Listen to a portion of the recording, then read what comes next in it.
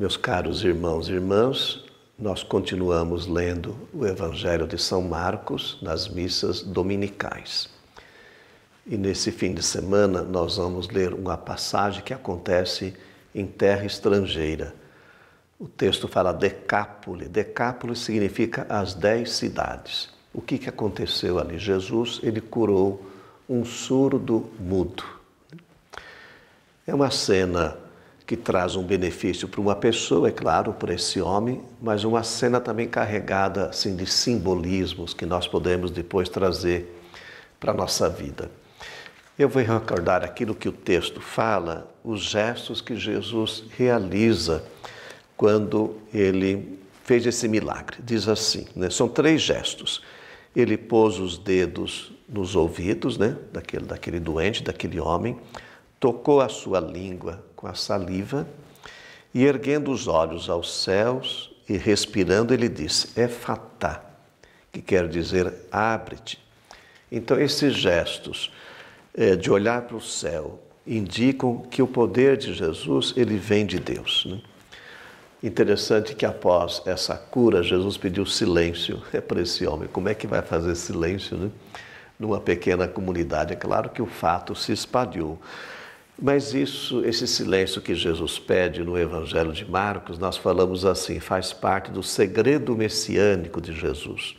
É uma catequese para dizer que a verdadeira revelação de quem é Jesus acontece plenamente quando ele está na cruz. Aí o véu, ele se rompe e nós podemos compreender que é Jesus aquilo que veio para nos libertar.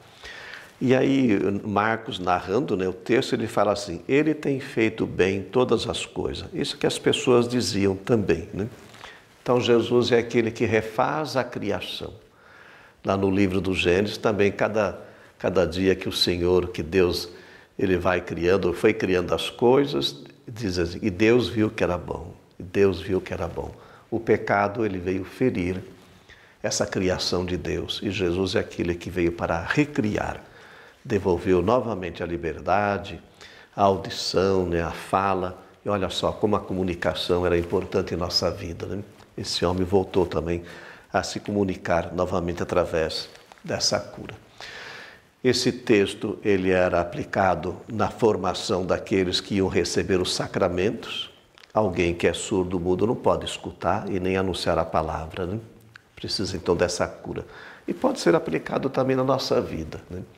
Hoje no mundo da, da comunicação, né? as notícias correm é, numa velocidade que nós impressionante, né? Quantas informações nós recebemos é, na hora, né? Hoje isso é bom, é uma coisa boa, mas também às vezes pode criar uma certa é, dificuldade nos relacionamentos, uma formação ou informação às vezes não correta. Então essa cena pode se aplicar também na nossa vida. Hoje nós precisamos saber ouvir, saber falar, saber escutar, né? saber se relacionar. É, diz um autor que nunca se falou tanto, mas nunca se disse tão pouco né? como nos dias de hoje. Nós recebemos tantas informações e às vezes falta é, esse tempo para um discernimento para a gente perceber a verdadeira comunicação, a verdade que é anunciada. Então nós também precisamos que Jesus nos cure né?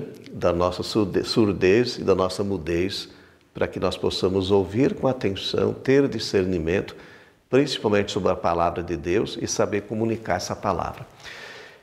E é uma palavra própria para esse mês que nós estamos iniciando, que é o mês da Bíblia, é o mês da palavra de Deus. Né?